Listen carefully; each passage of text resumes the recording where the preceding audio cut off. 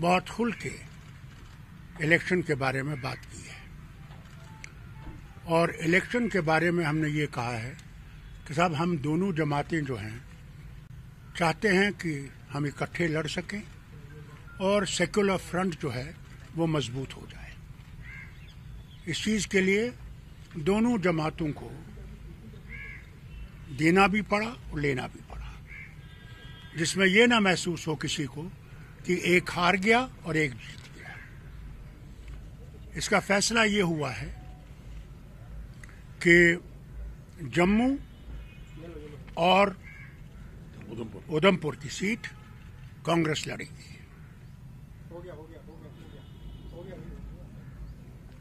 श्रीनगर की सीट मैं लड़ूँगा और फ्रेंडली कॉन्टेस्ट होगा कांग्रेस और नेशनल कॉन्फ्रेंस का अनंतनाग में और बारामूला में। उसके साथ साथ लद्दाख की सीट भी हम लोग सोच रहे हैं कि उसमें भी कॉन्टेस्ट होगा, दोनों का। एक फ्रेंडली कॉन्टेस्ट होगा। हम कोई चाहते हैं कि किसी भी तरीके से या ये जीते या हम जीते, कि सेकुलर पार्टीज़ जो हैं वो आगे आए।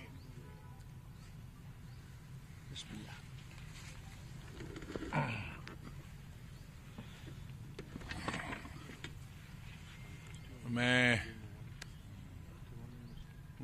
डॉक्टर फारूक अब्दुल्ला साहब और उमर अब्दुल्ला साहब का बहुत बहुत शुक्रिया अदा करता हूँ कि बहुत अच्छे वातावरण में ये फैसला हुआ है और ये स्वाभाविक था। पिछले चार पाँच साल से नेशनल लेवल पे अपोजिशन की, श्रीमती सोनिया गांधी के नेतृत्व में और बाद में मिस्टर राहुल गांधी के नेतृत्व में जितने भी अपोजिशन पार्टीज़ की मीटिंगें हुई हैं, उसमें फारूक साहब और उमर साहब बिल्कुल शामिल रहे और यूनिटी की बात करते रहे।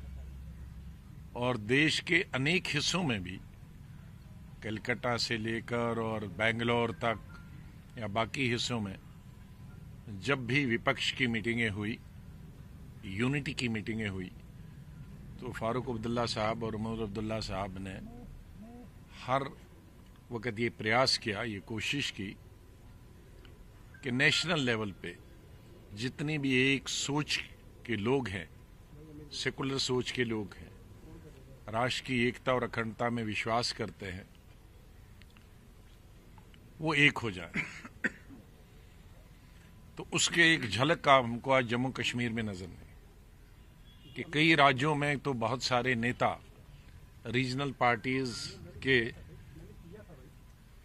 अपने जब ऑल पार्टी मीटिंग होती है, उस फोरम में बोलते हैं कि यूनिटी होनी चाहती। लेकिन जब उनके स्टेट की चर्चा आ जाए तो वो पीछे हट जाते हैं।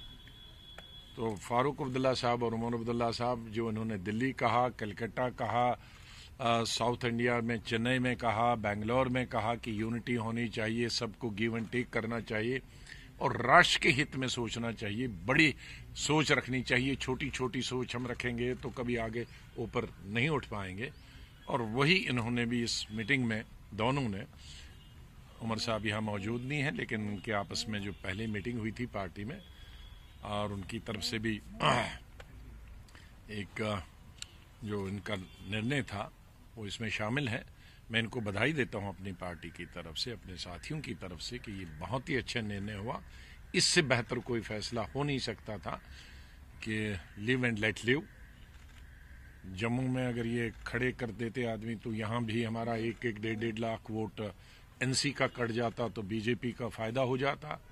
कश्मीर में भी अगर हम बिल्कुल अलग अलग लड़ते तो वहाँ ट्रांसफ़र करना वोट बड़ा मुश्किल हो जाता है। तो वहाँ हमारी दूसरी पार्टियों से लड़ाई है। तो हम दोनों की अगर वहाँ दो सीटों पे जहाँ अनंतनाग में हमारा भी कुछ एमएलए हैं, बारामूला साइड में भी हमारे कुछ एमएलए हैं, वहाँ हम अपना टर्फ भी संभाल पाएँगे, अपने वोटर्स को भी संभाल पाएँगे और वहाँ प्रयास होगा कि हम वहाँ दोनों जगह इस तरह कट थ्राउट की पॉलिटिक्स नहीं करेंगे कि बिल्कुल ही बांधना हमारा वहाँ दोनों की लड़ाई तीसरे को हराने की होगी, आपस एक दूसरे को हराने नहीं होगी। हमारी फ्रेंडली फाइट का यही मतलब है कि हम एक पर उतना वार नहीं करेंगे मारने का। जीत जाते हैं, आप जीत जाते हैं, हम जीत जाते हैं, एक ही बात है नेशनल किटी पे तो वो एक ही जगह लेना है, क्योंकि नेशनल लेवल पे नेशनल कॉन्फ्रेंस और कांग्रेस पार्टी की एक ही सोच है और वो आज से नहीं है, वो आज़ादी से पहले नेहरू जी के ज़माने में, गांधी जी के ज़माने में, शेख अब्दुल्ला साहब के ज़माने से आज तक रही है।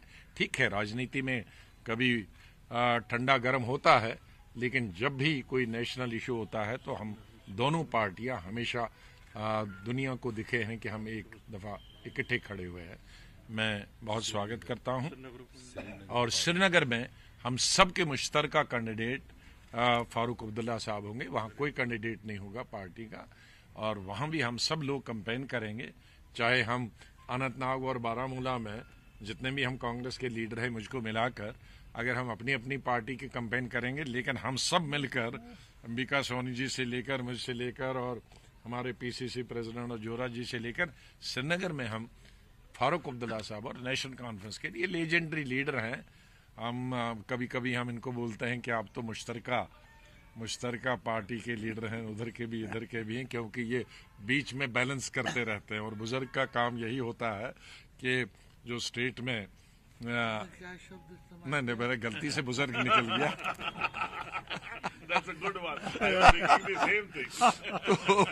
Objectionable. तो तो उसमें हमेशा ये बैलेंस करते आए हैं ये आज की बात नहीं हमेशा बैलेंस करते आए हैं कि कभी कभी अपनी पार्टी को भी at the cost of the party जो स्टेट के हित में बात होती और आ, जो नेशन के हित नेशन के हित में स्टेट के हित नेशन का हित स्टेट का हित हमारा नेशन के हित से जुड़ा है अलग नहीं है तो उसके लिए मैं खास तौर से आपका आभार प्रकट करता हूँ। अमिका जी आप कुछ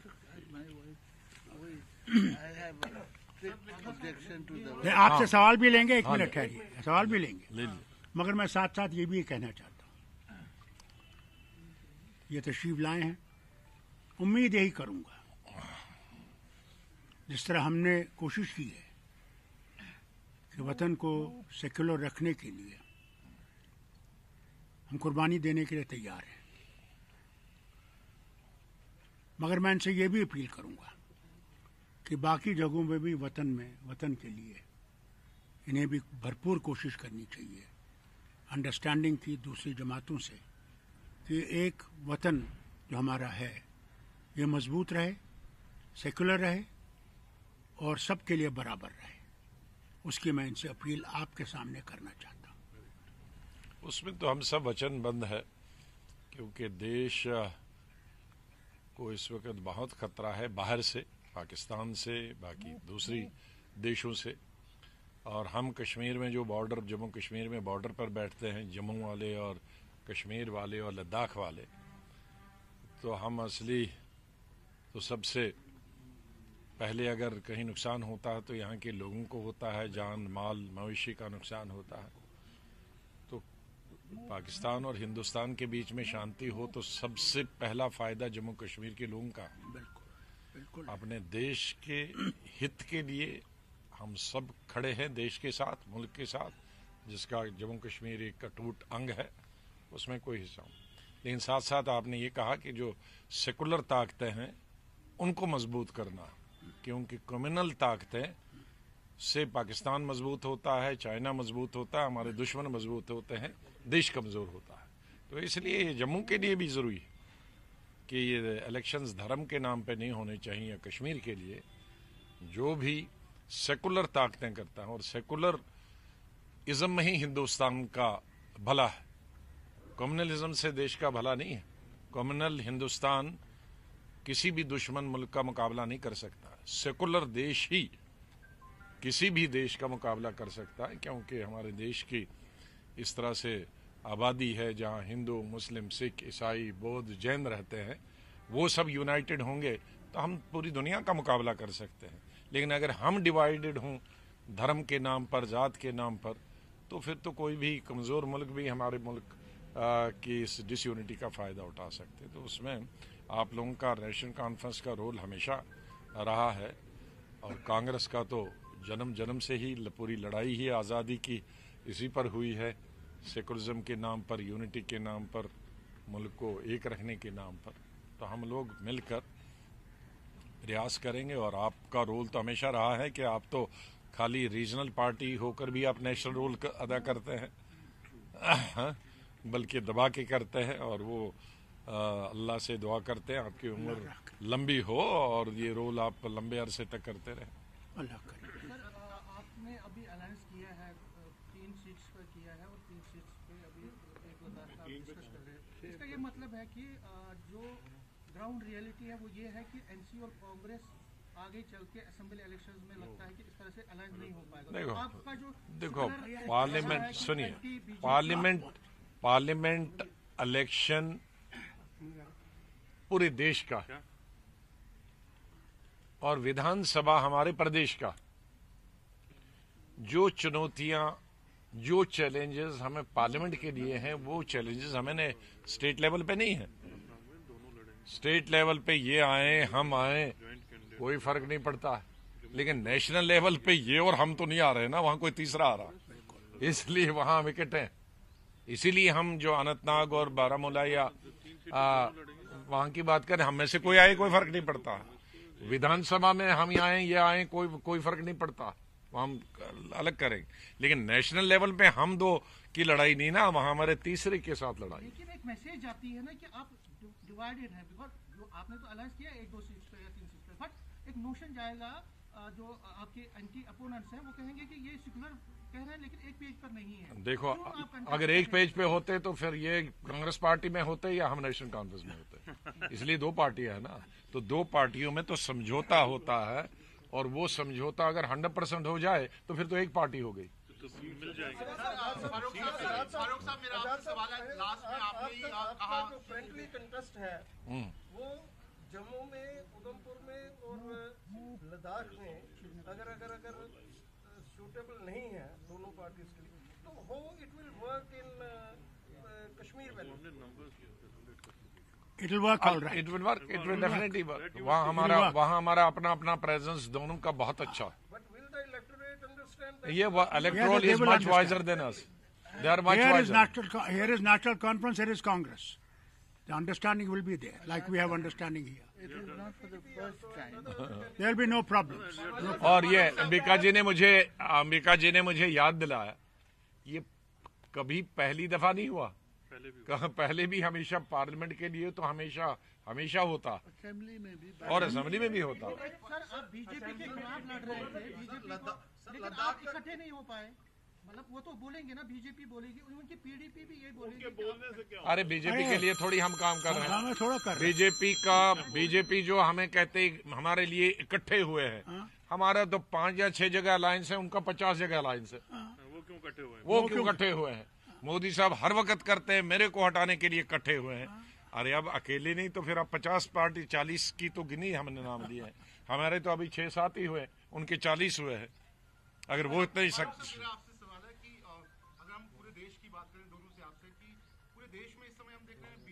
सारे अलायंस लगभग कर चुकी है। और शुक्र करिए कि आपने एक्सेप्ट किया कि वो अलायंस कर रहे हैं। हाँ। लेकिन वरना मोदी साहब मानते ही नहीं है। आपने लास्ट में कांग्रेस से ही पूछा कि आप दूसरी स्टेट्स में भी बड़ा दिल दिखा आपको लगता है चुनाव बिल्कुल सर पे खड़े हैं और अभी तक बहुत सारी स्टेट्स पे कुछ भी सहमत मैं ये समझता हूँ कि जब तक आखिरी सांस भी है ना तब तक कोशिश तब तक हम लोगों को कोशिश करनी चाहिए कि अंडरस्टैंडिंग हो जिससे कि देश बच सके। उसी के लिए हम कोशिश कर रहे हैं। लद्दाख सीट पे क्लियर नहीं हुआ क्या? वहाँ भी वहीं भी। वहाँ भी फ्रेंडली फायर प्रधानमंत्री का एक बयान आया है कि वंशवाद को लेकर जो देश की कॉन्स्टिट्यूशनल इंस्टीट्यूशंस हैं वो लगातार खत्म होती जा रही हैं और वंशवाद पर उन्होंने निशाना साधा है। अब जिनका वंश ही नहीं हो तो वो क्या करेंगे? Dynastic politics What does he mean by dynastic politics? आपका point I When an actor and his son, I, I, my question to you and to the Prime Minister is if an actor, his son, becomes an actor, is that a dynastic thing? If a director of a film makes his son director, is that a dynastic thing? If a doctor makes his son a doctor.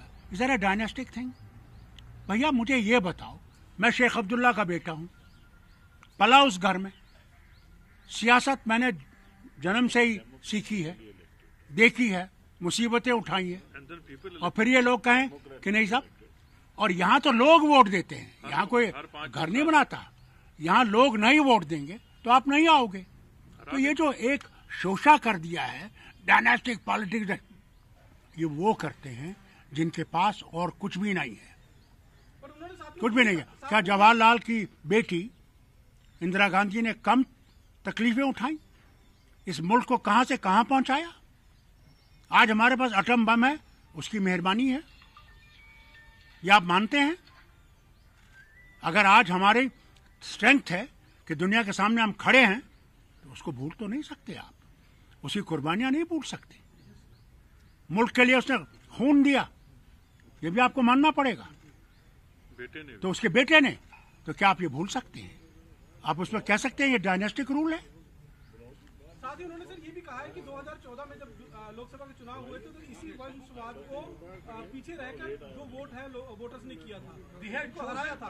said that they have chosen honesty over dynasty. That is what Modi has written in his book. और Let me खुदा, खुदा करे ऐसी corrupt government I have said in his presence I have said in his presence the house I will show the मैं आज ही भेजूँगा कि mister prime minister जब आप प्राइम मिनिस्टर नहीं होंगे तो दुनिया का सबसे करप्ट और स्कैंडलस गवर्नमेंट आपकी होगी लेकिन क्योंकि आप इंक्वायरी नहीं करते तो स्कैंडल कहाँ से निकलेंगे लेकिन जिस दिन प्राइम मिनिस्टर नहीं होगी दुनिया की नंबर वन करप्ट एडमिनिस्ट्रेशन होगी भारतीय जनता पार्टी के under uh, government.